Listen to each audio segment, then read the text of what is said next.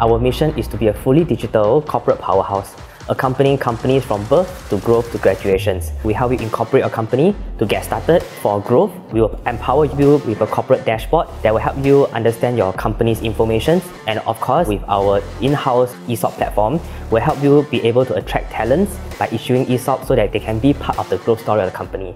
We have our head office in Singapore. We have a technical team that is in Myanmar that's been with me since the very beginning. So in fact, when I just incorporated the company, the Myanmar team is the first team that I actually engaged and built up. At that point of time, I think there's a few challenges like, you know, finding the right talent. Sometimes the placement fee for technical talents is, is super high. So we are very, very fortunate to be able to engage a Crossworks to hire this technical talent. Not only that they are able to offer a very affordable uh, placement fee, in fact it's one of the best uh, in town, they are able to give us very quality talents. They are very good with English, so there's no issue with communications. They also help us with a lot of the management of the HR part, like for example helping us with the contract, you know, being very responsive. So it makes it a very pleasant experience for us because we just need to work with Crosswork.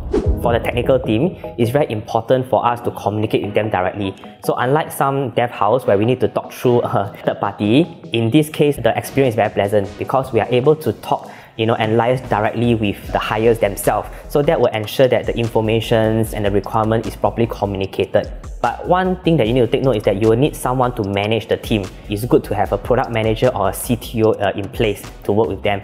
So we, we do the task management via uh, Jira, and then after we communicate on the Slack platform. Then we have a daily stand-up. So it's almost two years that we have engaged. They contributed a lot to the development of the company. Like for example, they helped to develop our ESOP platform right from the very beginning. So that platform that you see that we have right now is built up by them entirely as well as even complex concepts such as the vesting as well as calculations. So all this has been built by the team in Myanmar and also the cost is, is very reasonable. Like, you know, for the cost of one person in Singapore, you can probably get a team in Myanmar. I have a very pleasant uh, working experience with Crossworks. You know, I have no issue with the team. You know, they are very responsive and they are also very responsible as well. You know, like they will deliver what they are supposed to do.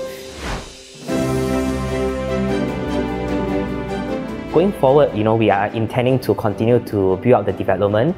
So for the team in Myanmar, we definitely want to continue to work with them, you know, trying to uh, share with them new technical knowledge so that they can grow with the company. I'm very delighted and uh, fortunate to be able to work with Crossworks, you know, right from day one, because it really helps me to build my entire product up and keeping my costs in control as well.